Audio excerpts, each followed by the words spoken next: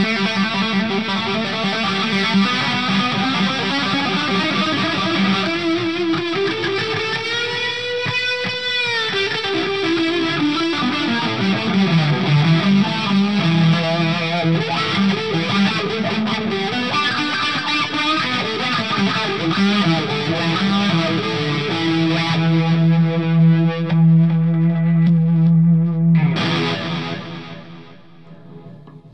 good evening. Craig McDonald from UK rock band The Clan again here for you. And tonight it's another series, another in the series of uh, my little videos, trying to uh, clarify some of the things that us guitarists get up to and um, what we like to do with our equipment.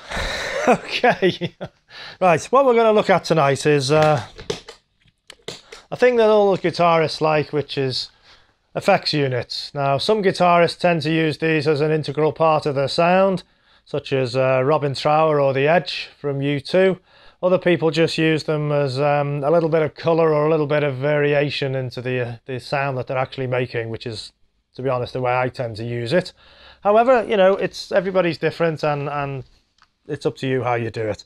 What I'm not going to do tonight is I'm not going to explain what the actual effects on this board do. Um, I've got a, the usual kind of things like delays and, and chorus pedals, which you can always check out anywhere else.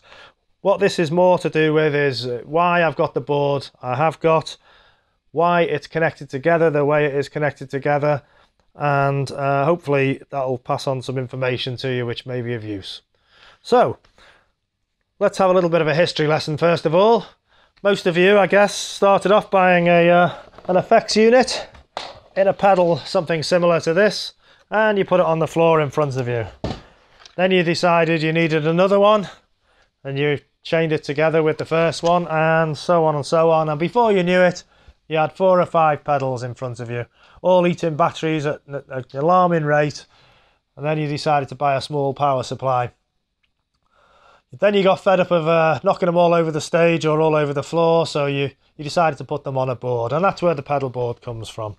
So it's your collection of effects units all on one easy to carry board.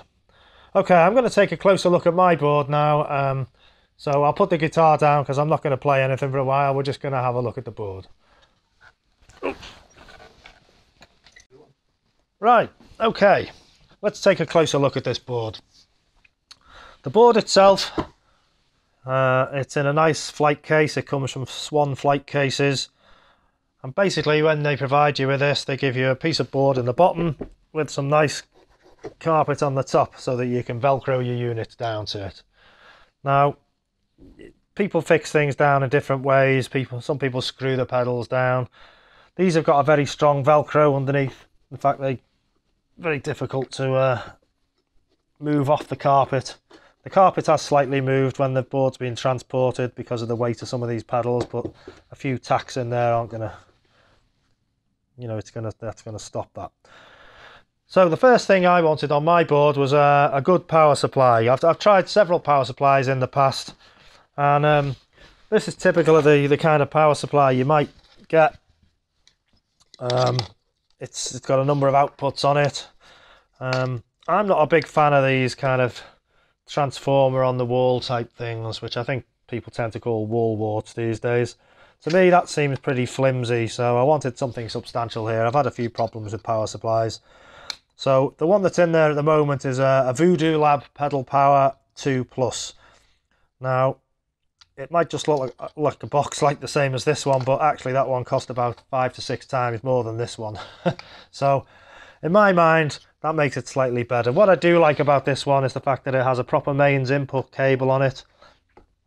Um, it's got a number of outputs on it. It's got eight or nine outputs on it. Can't stress that to you too much. Make sure you've got more outputs than you think you're going to need because I can guarantee you now you will add more pedals. Okay, so that's what I've got in there. A Voodoo Lab Pedal Power 2 Plus power supply. Works straight from the mains in the same way, you know, the same lead that your amplifier uses. And it has actually got a, an external connection as well for low powered, well, it's for 240 volt things, but I've never used it, but uh, it's there if you need it. So I've got that on the board in a position central. That's why I put it there, so that even spread between the power distribution cables. When you when you start out making your boards, as I said earlier, you tend to just chain your effects units together, um, which is great um, when you start out, or in fact, it, it, yeah, there's nothing wrong with it. But the problem with doing that, when you just chain your effects together, so you've got the input of one coming from the output of another, so you may have six or seven pedals all stuck together. Um, there's three three issues with that really. One is the noise because you're increasing the signal path, so you do get more noise in your signal going to your amplifier. Um, hums and hisses and that kind of thing. Uh, another another thing I found quite um, disturbing with that was if one of those effects units goes wrong, it's very difficult to actually ascertain which one it is, especially if you're in the middle of a gig or something. You've got seven pedals all plugged into each other one of them's not working and your whole chain's gone off. You don't know which one it is. So actually, it's not a great idea to set them up that way. And the third thing I found um, doing them that way is that because you're turning them on and off all the time, they need to be positioned so that you can see, well, normally the, the way up you would expect them to be. So that doesn't always help when you're trying to arrange a board. So what the way I've got round that these days is to use something called a looper. What is the looper? It's this large box here. now you can get these in different sizes. What we're effectively doing with this box uh, is we're not having the effects chained one after the other in, in series. What actually happens is the, the input cable from my uh, guitar comes in here, effectively goes along through the looper and comes out here. Okay, so that's under normal circumstances. Now what what we do then is we have little loops. In fact, I've color code. I tried to color code these so I knew which loop was for which effect.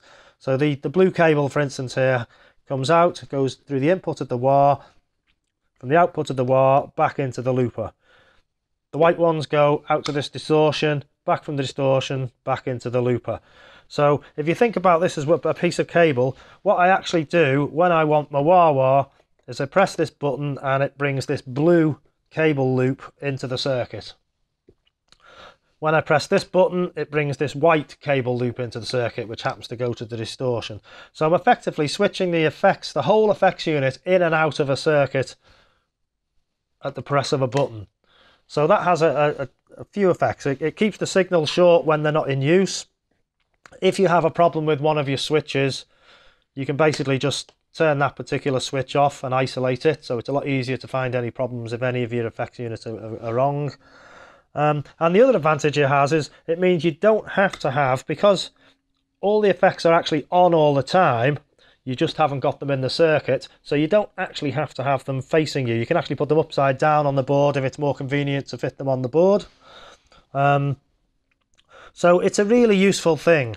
So this seems to be the way that everybody's going these days anyway, and I can understand why. So not the cheapest box in the world, this one, but it has a, a couple of things. This one's got um, six six loops in it that I'm using. There's also a bypass switch. Now this uh, this is quite a useful switch. If, if we put bypass on, it doesn't matter if any of the loops are on then, they'll still be bypassed. So in the way that you can with multi-effects processors, you could, if you wanted to, have several effects switched in at once. So if I wanted a bit of delay and a bit of chorus and even a bit of wah, I could have all those turned on, but they actually wouldn't come into play until I turn the bypass off. So the press of one button, I now have three effects switched into the circuit which saves a lot of tap dancing around on the floor. I can tell you, it's it's uh, I've only got two feet, so it makes it quite difficult if you want to turn three or four things on at once. But using this bypass function, you can actually do that. And then when you've finished your solo or whatever it is you've turned them on for, you just bypass the whole lot again, and then at your leisure, turn them off if if you don't want them anymore. So that's really useful. The tuner is a typical tuner. Um, when I switch that in, it goes to my Boss tuner here and because there's no return on that it mutes the whole thing so I don't get any noise when I'm tuning um, Boss tuners will let you do that if you want to you can have it tuning while the, the noise is going through but I don't like that so I turn that off So the tuner effectively mutes the whole board. So the looper is a really useful useful device. Um, it does actually work without the lights, although I'm not quite sure how you do that, but uh, I suppose if, if the power ever failed to it, it would still operate. So again, I would say probably the best thing to do is get a looper with more loops in than you think you're ever going to need because you will add more pedals. It's the same for the whole board really. Try and make the board bigger than you think you're going to need because you will add more pedals. It's just the nature of us guitar players, we do that. So that's effectively the board I've got there and why. So I've got the looper in for the reasons I've mentioned and I've got a really good power supply in there. The only pedal I've got on this board which doesn't use the looper is this one here, which is a Marshall Blues Breaker. Now this pedal you can set up in two different ways. You can have it as a distortion unit if you want, uh, or you can have it as a pure boost. Now I use it in pure boost mode purely for solos. And the reason that one's not connected to the looper is because what I found is when I have my amplifier, um, my, my stage setup, I actually have the preamp on my Marshall uh, turned up to 10. There's a surprise. so actually trying to boost when those preamp valves are running flat out has virtually no effect whatsoever. All it does, uh, I think, from what I've heard, is it puts the valves into compression or something. But if, effectively, it doesn't make it any louder. So I have a bit of difficulty doing that, boosting for solos. So the way I actually do it is because my Marshall amp has got a, a send and return loop on, on the amp, and that is in between the preamp and the power amp. So I use that send and return loop and I basically boost the preamp signal that's going to the power amp using this little box here. So that is actually got an input from the send of the power amp, of the, the Marshall amp, and the return also goes to the Marshall head. And in that way I can boost in between the two stages of the amplifier.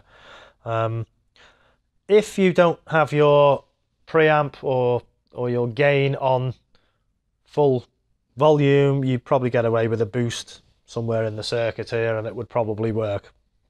Um, especially if you've got a, a non-valve amp because they they are a lot um, more linear in the way they work.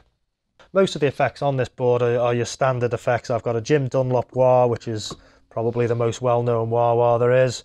I've got an MXR phaser, gives me a very 1970s sound. Um, don't use it a lot. I just use it maybe for one song because it gets a bit uh, bit much after that really. Chorus, it's a typical. It's it's the Boss CH1 chorus, which is probably the top chorus pedal there is, top selling one anyway. Um, it does the job. When I'm sort of playing slower or quieter bits of music, I often use a bit of chorus to fill the sound out. And a Boss DD3 digital delay, which does what it says on the tin, really. On the can, it's just gives me a bit of delay. I don't use it that much, actually. I, I don't really use effects that much because I always work on the idea that if if I have a catastrophic effects failure, I can still play. like I say, some guitarists like the Edge, I think, would be a bit stuck, really, but um, it's horses for courses, you know. It depends on what you want. So I hope that's made a bit of sense to you and um, hopefully maybe informed you some things that you didn't already know. And that's pretty much it as far as the pedal board goes. Okay, so I've told you about the board.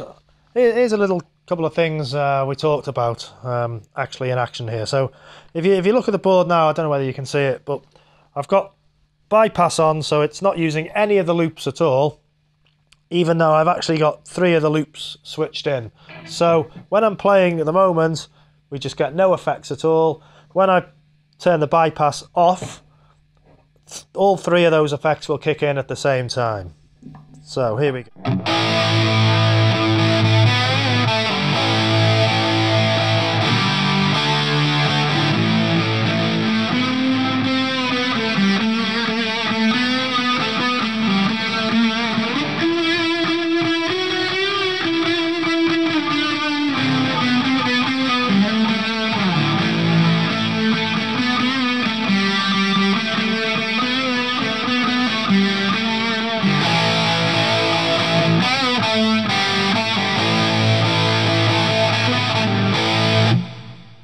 Okay, so uh, hopefully you can see what I mean by that. Um, I'll say it's a pretty good loopers this. It's got some very bright lights, you know exactly where you are. Something else I didn't mention is my wah, although the wah itself has a switch on it underneath, I just leave the the thing turned on all the time and just switch it in with this switch here so I know exactly where I am. I've had trouble with wah wahs before not knowing whether they're on, on or off sometimes because they never seem to put LEDs on them but uh, in this way I can just switch it straight in. So that's the board. Something else I'd like to show you uh, which might be of interest to you. I use one of these beasts, a Marshall JCM 800. I don't have any trouble with it, it's a very reliable amplifier. But what happens if you happen to be at a gig and it blows up or something goes wrong and you've lost your entire amplifier sound? Those of you with multi-effects processors, you can probably get away with putting them through the PA system, but I don't like multi-effects processors. I like guitar sounds and, and the odd effects pedal. So, given the cost of these, I'm guessing most of you won't be able to afford to have a spare one of these in the back of the Transit. So what do you do? Well, what you can do, and I've just discovered this recently, is you can switch in one of these things. now before you start uh, saying, oh no, in the most uncertain terms, let me just show you. This is a very, very good value for money little alternative and it will certainly not going to sound like the Marshall but it's definitely going to get you through the gig especially if you mic your speaker up it's called the Orange Micro Terror. It's a 20 watt amp. Have a listen to this. Oop. Alright, so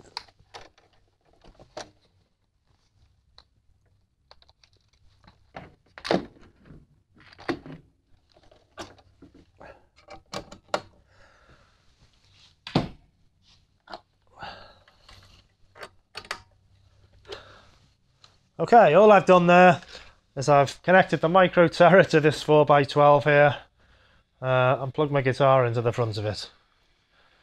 It's got a valve preamp, so you get a bit of a valve sound out of it. It sounds something like this actually.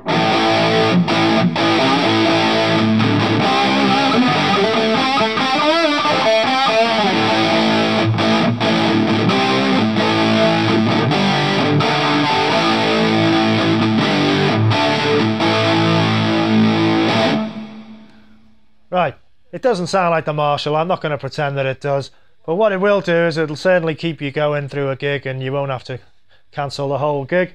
It's actually got pretty versatile controls on the front. One's just the volume control, the other's the gain, and the middle one's a tone. So I'll just uh, I'll just give you a couple of examples with the gain here. This is with the gain on full.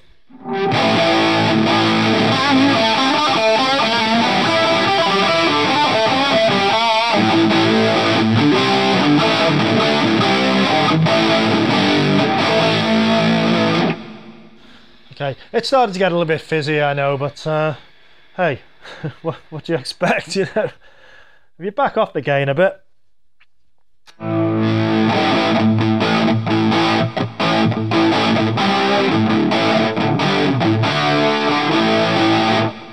So it gets a little bit meatier there, it's, uh, it's a bit cleaner obviously. Those of you who like using distortion units, you might be able to stick one of those in front of it and uh, get more of a sound that you're looking for. But remember, this is not designed to be your main gigging amp. This is a get you out of jail card. You know, it's it's when your amp's uh, really not going to work and you, and you, you you're running around thinking, uh, what am I going to do now? You know, especially if you're miles from home. I say a lot of people can't afford to carry a spare one of these with them. So, I think this is a pretty good thing to keep in the glove compartment of the Transit, really and it's so small it actually fits in the glove compartment of a transit. Um, stick a mic in front of your cab if you need one. Orange Micro Terror, great little lamp, great spare, and about a tenth of the price of one of these.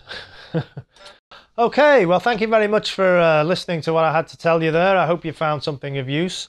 Um, that was the ins and outs of my pedal board, which I'm uh, now going to put away. Uh, the way, as you know, the way I've got it set up, it's fairly easy to disconnect. Um, and basically, it comes from Swan flight cases. as I mentioned earlier, this is a nice little lid for it. I just pull out a couple of leads. The leads can actually go on top of the pedals and the lid just goes on once everything's unplugged and it's great to carry away. So thanks a lot and uh, enjoy your pedaling.